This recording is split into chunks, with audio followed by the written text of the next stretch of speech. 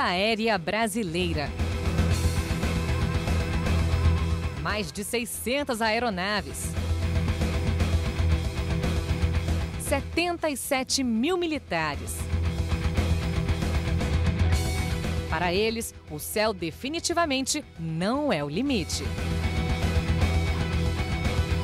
Nessa região de 22 milhões de quilômetros quadrados, você coloca a Europa inteira aqui dentro. Então, o que nós temos, e tudo feito pelo Brasil.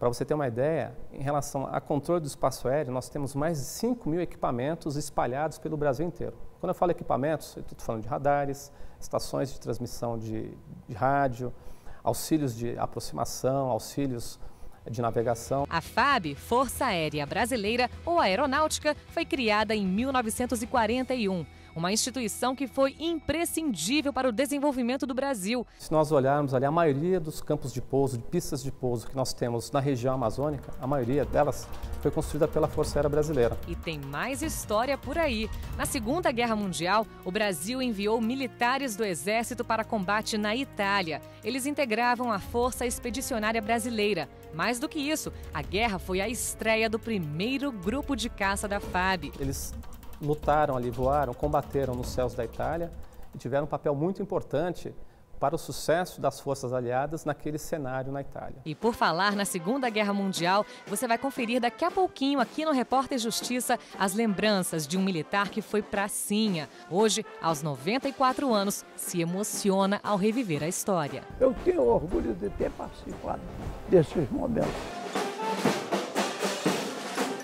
da Segunda Guerra para os dias de hoje. A principal missão da aeronáutica é garantir a soberania do céu de nosso país. Por isso, é ela que controla o tráfego de aeronaves militares, comerciais e particulares. Tudo feito no Centro Integrado de Defesa Aérea e Controle de Tráfego Aéreo, o chamado SINDACTA. São quatro espalhados pelo Brasil, em Manaus, Recife, Brasília e Curitiba. É um modelo invejado por muitos países. Isso permite à Defesa Aérea fazer um trabalho de qualidade 24 horas por dia, 7 dias por semana. Nós não, nunca paramos. Toda e qualquer aeronave que sobrevoe o Brasil precisa de um plano de voo indicando rotas e horários. Se por acaso aparece algum ponto no radar não identificado, nessa região de defesa aérea, lá naquele centro de controle, daqueles quatro que eu lhe falei, eles começam um trabalho de eh, identificação, averiguação que aeronave é essa que está voando em nosso espaço aéreo. Então eles começam um trabalho entre eles, eles têm um tempo determinado para identificar essa aeronave. Se ele não conseguir identificar essa aeronave, o, controle, o lado civil, da circulação em geral, não conseguir identificar, a Defesa Aérea assume a responsabilidade. Há seis anos, uma aeronave boliviana entrou no Brasil sem autorização e se recusou a obedecer às ordens da aeronáutica. Eu reconheci, vi que era uma aeronave de matrícula estrangeira. É, interroguei ele não respondeu às interrogações. Forcei a mudança de rota, ele não atendeu. Determinei o pouso obrigatório, ele continuou não atendendo. E finalmente nós fizemos um, um tiro de aviso, ele disparou à frente e ao lado da aeronave. Aí ele acabou é, pousando numa pista não preparada, ele abandonou a aeronave e o piloto ele acabou sendo preso pela Polícia Federal alguns um ou dois dias depois. Mas ele acabou pousando numa pista e largou a aeronave que realmente estava carregada de, de, de, drogas. A FAB também atua em caso de acidente aéreo, fazendo resgate e busca de pessoas e aeronaves, seja na terra ou em zona marítima brasileira. Aí entra em ação o Centro de Investigação e Prevenção de Acidentes Aeronáuticos, o CENIPA. Ele apura os fatores relacionados ao ocorrido e faz recomendações para evitar que a situação se repita.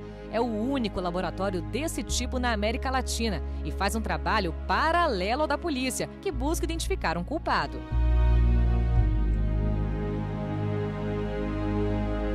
Além de controlar o espaço aéreo brasileiro e investigar acidentes, a FAB também tem um trabalho social intenso. Dentro do nosso território ou até fora do país, a força está sempre disposta a servir. Do ar para a água, é a Marinha do Brasil que faz a defesa, segurança e fiscalização nos mares, rios, lagos e lagoas.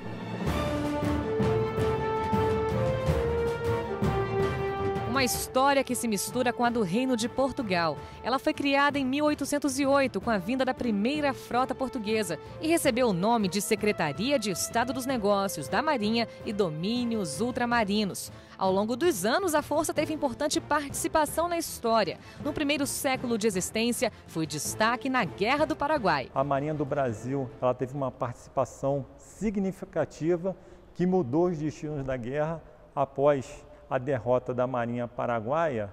A guerra começou a tender para o lado brasileiro e o que possibilitou da gente vencer aquele conflito. Os marinheiros brasileiros também marcaram as grandes guerras mundiais. A Marinha também teve uma participação, uma pequena participação na Primeira Guerra Mundial e uma participação significativa na Segunda Guerra Mundial, fazendo a proteção dos comboios comerciais e de pessoal que se fazia entre a Europa e o Brasil. Hoje, a Marinha conta com 77 mil militares que têm o papel de defender as águas brasileiras. Toda essa extensão é chamada de Amazônia Azul, uma homenagem à Amazônia Verde. Essa região é uma região que é equiparada a cerca de metade do território nacional.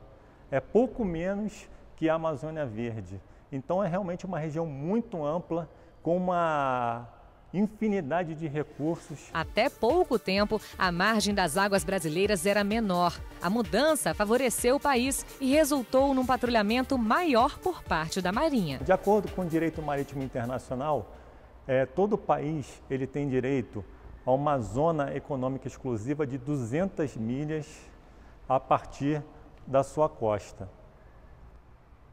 Só que o Brasil ele conseguiu provar por meio de levantamentos hidrográficos que a sua plataforma continental ela se estendia bastante além da costa brasileira. E com isso nós ganhamos mais um bom pedaço de zona econômica exclusiva, indo até 350 milhas além da costa. A fiscalização da Marinha é intensa, principalmente sobre os navios mercantes que levam e trazem mercadorias de outros países. Mais de 95% do comércio exterior brasileiro ele é transportado por via marítima. E isso é uma questão muito importante é, de percepção do valor que o mar tem para o Brasil. Mais do que controlar o comércio, a Marinha também combate o crime nas águas brasileiras. Esse aqui é um navio patrulha, um navio também muito importante para a Marinha do Brasil, sobretudo por conta da dimensão da nossa costa, garantindo que não seja cometido nenhum tipo de ilícito, crime nas águas jurisdicionais brasileiras, na Amazônia Azul. E por falar em Amazônia, centenas de famílias ribeirinhas dependem da Marinha até hoje. É a força que leva saúde a essas comunidades. Você pense que determinadas famílias só conseguem receber qualquer tipo de atendimento médico ou odontológico por meio do navio. São duas, três vezes que o navio passa lá na comunidade dela, que é bastante isolado. Isso é uma coisa muito interessante que passa a ser até um evento social. É um ato realmente de promoção da dignidade da pessoa humana. A estrutura do navio conta até com laboratório e os exames saem no mesmo dia. Assim, o paciente retorna ao médico e já sai, inclusive, com os remédios específicos para o tratamento.